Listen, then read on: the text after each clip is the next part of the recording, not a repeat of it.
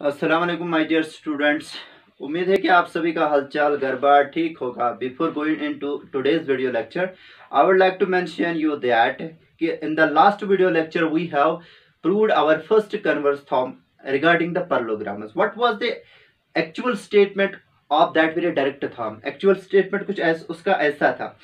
किसी भी पैरलोग्राम में हर एक pair of opposite sides equal होते हैं और जिस थॉर्म को हमने प्रूव किया था यानी कि इसी का कन्वर्स थॉर्म वो क्या थी? अगर किसी भी कॉर्डिलेटर में two pair of opposite sides equal in length होगी, वो कॉर्डिलेटर हमारा अपना कॉर्डिलेटर यानी कि पैरलोग्राम होता है, ठीक? इसमें जो आज हमें थॉर्म का, जिस हम थॉर्म का हमें प्रूव करना है, जिसका कन्वर्स हमें प्रूव करना है, उस थॉर्म का डायरेक्ट स्टेटमेंट क्या है? किसी भी पैरलोग्राम में दोनों pair of opposite angles equal in measure होंगे, ठीक है? होते हैं और होगे, ठीक है? तो आज के इस वीडियो लेक्चर में हम इसी थॉर्म का कन्वर्स प्रूव करने वाले हैं। कन्वर्स इसका क्या बनेगा? सर किसी भी क्वाड्रिलेटर में अगर two pairs of opposite angles equal in measure होगी वह क्वाड्रिलेटर हमारा अपना परलोग्राम होता है। तो स्टेटमेंट हमारी इस कन्वर्स फॉर्म का क्या बनेगा? If each pair of opposite angles of a quadrilateral are equal, then it is a parallelogram. यानी कि किसी भी quadrilateral में अगर हमारे पास में two pairs of opposite angles equal in measure होगे वो क्वाड्रिलेटरल हमारा परलोग्राम होगा ठीक है? चलिए गिवन में हमारे पास में क्वाड्रिलेटर है ए बी सी डी जो मैंने यहाँ पे बना के रखा है, उसका रफ स्केच या ड्राइंग मैंने उसकी बना के रखी है।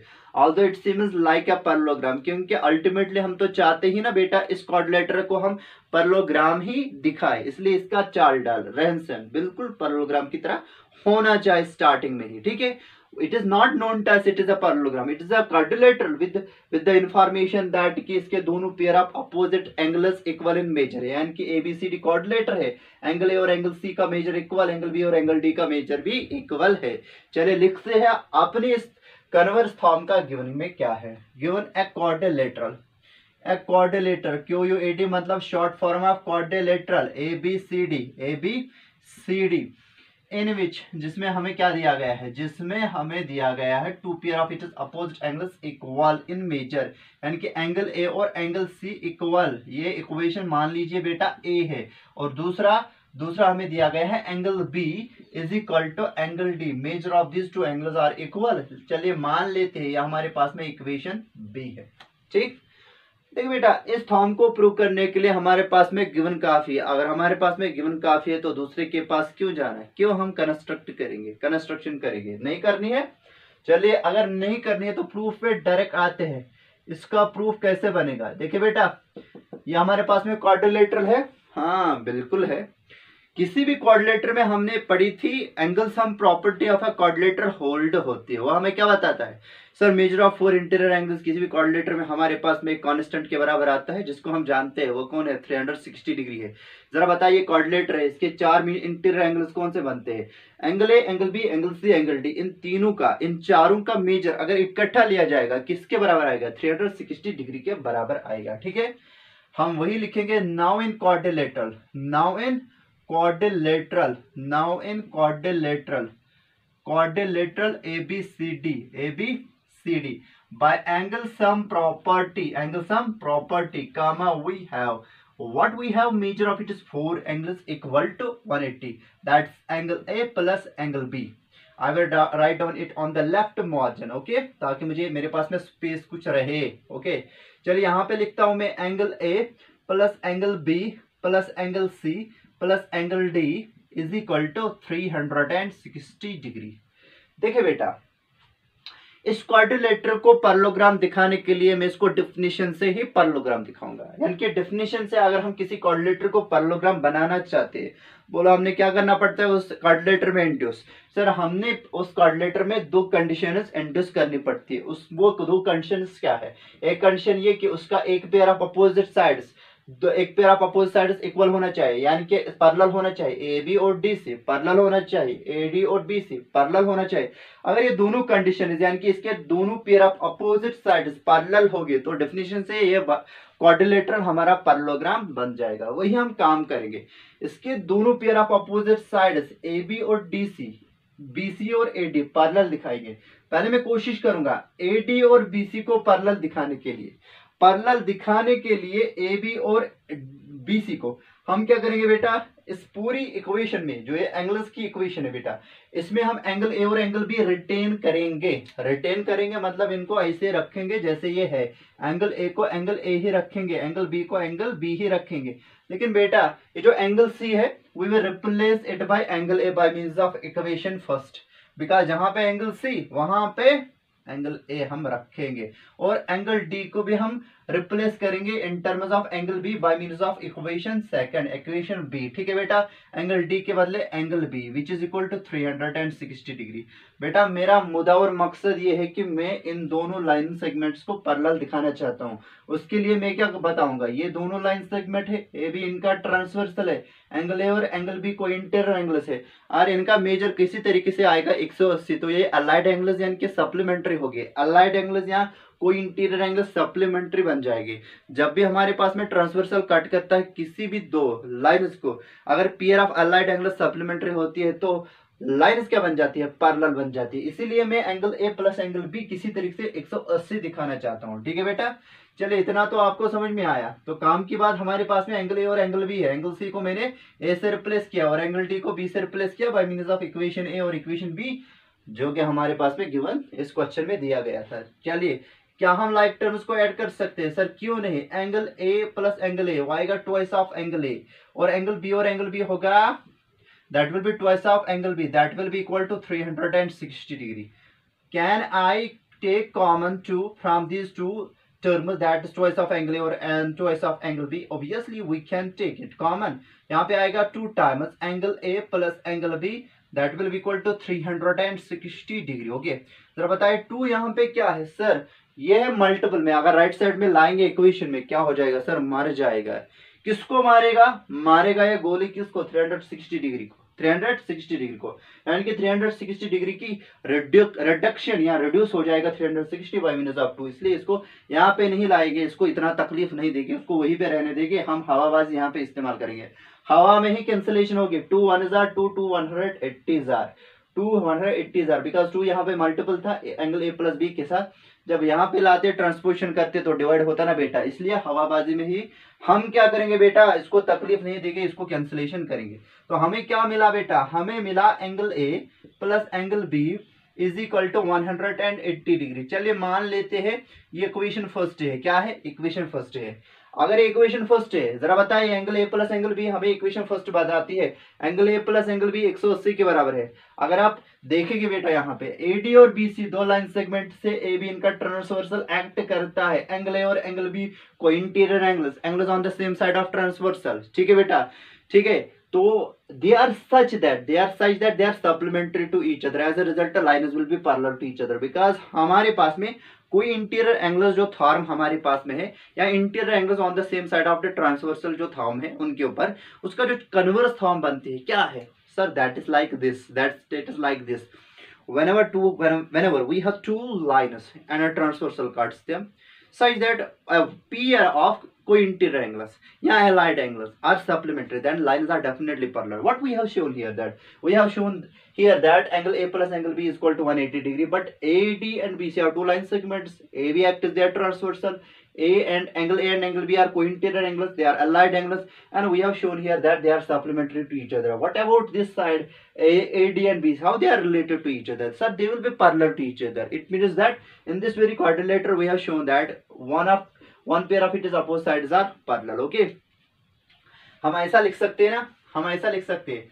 Now now A D and B C are two line segment A C and B C are two line segment are two line line segment and and which A B act the transversal A B act is their transversal act is their transversal transversal such that ऐसा इनका transversal है। Such that angle A plus angle B एक सौ अस्सी के बराबर है। ठीक है? यानी कि ये दोनों एंगल एंगल ए और एंगल बी का सम एक सौ अस्सी के बराबर है। Such that and there transversal such that angle A plus angle B is equal to one eighty degree which is a pair of allied angles which is a pair of pair of allied allied angles. So so ठीक है by converse of the allied angles form what we have AD will be parallel to BC AD will be parallel to BC okay this is equation star equation number star बेटा, बहुत important ठीक? अब देखिए बेटा, अगर मैं आपको बताऊँगा ये जो हमारे पास में ये वाली इक्वेशन थी angle A plus angle B plus angle C plus angle D यानी कि angle sum property of a quadrilateral और हम इसको इक्वेशन सी मानेंगे इक्वेशन सी मानेंगे। अच्छा इक्वेशन सी को फिर से अगर हम ले लेंगे नाउ फ्रॉम इक्वेशन सी आगे इससे क्या होगा बेटा? फिर से आगे हम करेंगे now from now from equation C comma we have what we have sir we have angle A plus angle B plus angle C plus angle D is equal to 360 degree. What we will do here? इससे पहले क्योंकि हमें कौन सी line parallel दिखानी थी हमने हमने ए बी ए डी और बी सी पैरेलल दिखाई। ये दोनों लाइन सेगमेंट्स पैरेलल है। उसके लिए मैंने एंगल ए और एंगल बी को रिटेन किया। और मैं ए बी और डी सी को पैरेलल दिखाना चाहूँगा। मैं क्या करूँगा बेटा? इस पूरी एंगल्स वाली इक्वेशन में मैं क्या करूँगा? I will retain angle A and angle D I will replace B and C in terms of in terms of D and C okay फिर से डी एंड ए देखिए बेटा एंगल ए को ए ही रहने देंगे और एंगल बी को क्या करेंगे? Because I would like to retain angle A and angle D I would like to make here these two angles allied angle these two angle, allied angle supplementary. For that, i will replace b by d. Angle B के बदले हम लिखेंगे बेटा angle D angle C के बदले angle A को retain करना चाहते हैं। अगर ए को रिटेन करना चाहते हैं, बोलो सी को किससे रिप्लेस करेंगे? ए से, और वो हम गिवन से कर सकते हैं। एंगल सी के बदले एंगल ए लिखेंगे, और एंगल डी को डी ही रहने देंगे। चलिए, वो आएगा 360 डिग्री फिर से वही वाली बात two times angle A plus 2 times angle D is equal to 360 degree which implies that we can take 2 common by means of distributive property of multiplication or addition of real numbers that is equal to 360 degree बेटा फिर से 2 multiple है वहाँ पे क्या हो जाएगा divide हो जाएगा तकलीफ़ नहीं देंगे बिकॉज़ हमें किसी को तकलीफ़ देने में खुशी नहीं होगी, बेटा। तो 180 आएगा। Which implies that angle A plus angle D किसके बराबर आएगा? Angle A plus angle D equal to 180 degree देखिए बेटा इक्वेशन सेकंड इसको लिखेंगे। Angle angle A plus angle B जब हमने 180 के बराबर दिखाया था, उसको हमने इक्वेशन फ़र्स्ट से रिप्रेजेंट किया था। Angle A plus angle D हमने इक्वेशन वो 180 डिग्री के बराबर है, लेकिन हमने इस इक्वेशन को रिप्रेजेंट किया by means of equation second ठीक है? अब देखे बेटा क्या ए बी और डी सी दो लाइन सेगमेंट है? बिल्कुल है। क्या ए डी इनका ट्रांसवर्सल है? बिल्कुल है। क्या एंगल ए और एंगल डी अलाइट एंगल्स है या कोई इंटीरियर एंगल्स या angles on the same side of transversal है? हाँ है। कैसे है? सर सप्लीमेंट्री है। लाइन्स क्या होगी? सर पैरेलल होगी। ठीक है? तो हम क्या करेंगे? हम करेंगे फिर से। हम बताएँगे ये। Now A B and D C are two line segments A D acts दिया ट्रांसवर्सल जैसे यहाँ पे किया था। Now A D and AD and DC are two line segments. AD act is their transversal. AD act is their transversal such that angle A plus angle D is equal to 180 degrees. Therefore, this AB will be parallel to DC. ठीक है As in ठीक है हम क्या लिख सकते हैं so, मैं अब वो सभी लाइनें नहीं लिखूँगा if you want me to write down you can write down on your notebook बिल्कुल ये कॉपी करना है लेकिन यहाँ पे सी और सी नहीं बताना है सी और C this not A C now A C not A C this was now BC BC AD it is AD sir. It is AD जैसे मैंने लिखा था यहाँ पे AD and BC are two line segments आपको यहाँ पे लिखना पड़ेगा। A B and D C are चलिए मैं लिखता हूँ। Now now A B and D C A B and D C are two line segments are two line line segments segments are two line segments. and AD act is their transversal. AD act is their act is their their transversal. Transversal such that ऐसा ही इनका transversal है such that angle A plus D angle A plus D one eighty from equation second यानी कि angle A plus angle D is equal to one eighty degree which is uh of allied angles which is uh of pair of allied angles allied angles so क्या होगा? Sir अगर ये PR of allied angles है A B और D C parallel होगी। D will be parallel to D C ठीक है बेटा? ये क्वेश्चन डबल स्टार लिखेंगे। क्या लिखेंगे? डबल स्टार मैंने बताया था आपको, मुझे तारों में बहुत दिलचस्पी है, इसलिए तारे वाली इक्वेशन और डबल तारे वाली इक्वेशन को देखो। तारे वाली इक्वेशन हमें क्या बताती है? यानी कि स्टार इक्वेशन हमें ये कन्वे करती है कि हमारे इस एबीसीडी में एडी साइड बीसी साइड को पैरेलल है। है कि नहीं? बिल्कुल। डबल तारे वाली यानी कि डबल स्टार इक्वेशन हमें बताती है। इसी इसी कोऑर्डिनेटर का ए बी साइड और डीसी साइड पैरेलल है। बोले बेटा, ये कोऑर्डिनेटर कैसा है? सर स्टार और डबल स्टार हमें बताते हैं कोऑर्डिनेटर ऐसा है कि इसमें two pair of opposite sides two pair of opposite sides parallel है। बोलो, क्या होगा? बाय डेफिनेशन ये तो पैरेललोग्राम बन जाएगा। इस तरीके से हमारी थॉर्म का प्रूफ हो गया बेटा। चले, लिखते हैं यहाँ पे। लास्ट वाली कंक्लूडिंग कंक्लूडिंग स्टेप ठीक है? From star and double star जैसे मैंने पहली पहली वाली फॉर्म में लिखा था। From star and double star from star and double star हमें पता चला we come to know we come to know we come to know that we come to know that ये अलग से है। We come to know that quarrel quarrel a b c d has to pierce to pier यहाँ pair लिखेंगे two pair of it is opposite sides of it is opposite opposite sides पर लल therefore by definition by definition quadrilateral ABCD is a parallelogram. ठीक है बेटा? Hope you understood it तो यहाँ पे आप कंफ्यूज नहीं हो रहे थे ओवर सेट हुआ था यहाँ पे मुझे। मैंने, मुझे बताना था एडी और बीसी दो लाइन सेगमेंट से। और एवीएन का ट्रांसवर्सल है। एवीएन का ट्रांसवर्सल है। एंगल ए और एंगल बी दोनों एंगल अलाइड एंगल से और सप्लीमेंट्री है, इसलिए एडी और बीसी पैरेलल होगी। तो यहाँ पे मैंने A A D A C लिखा था डी के बदले तो वो आपको कंफ्यूज नहीं करना है। थोड़ा सा समझना है खुद, ठीक है?